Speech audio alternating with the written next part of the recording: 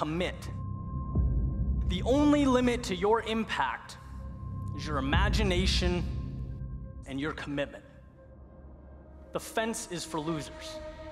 Right? That's a, that's a harsh way to put it, but that's the reality is things get better when you look at life from a binary standpoint. You either want it or you don't. And if you want it, why wouldn't you go all in? And if you don't, why would you touch it? I can't tell you how many times I've been, you know, one toe in the water, and it's like, why? Do you want this or not? First time I heard this, freshman year in college. And uh, it was one of those things where I always thought I worked hard. You know, I always kind of jumped into what I was doing and, I wanted to get good grades, and um, I, I invested in what I did. But I realized that I didn't quite grasp what it meant.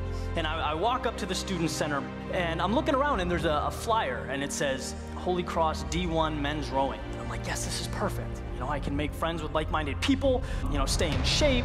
This is uh, amazing. And I go up and there are 73 people there, walk-ons.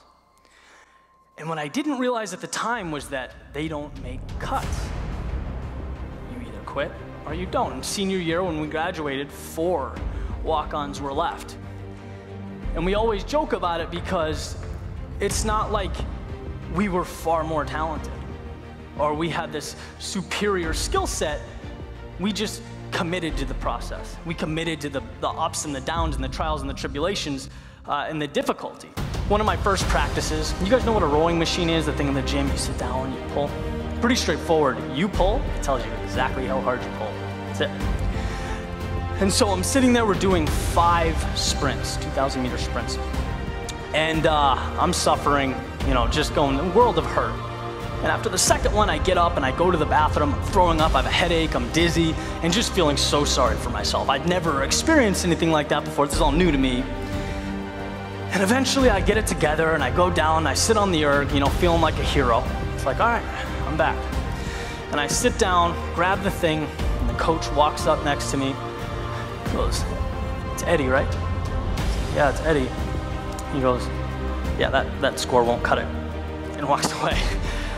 And uh, that was uh, uh, not a nice thing to hear because I always associated suffering with paying the price, right? How could I be going through that type of punishment and have someone uh, respond that way?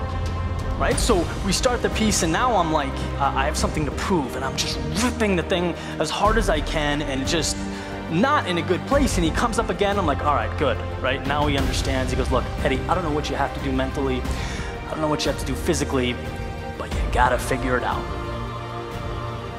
And that's where it occurred to me showing up isn't enough.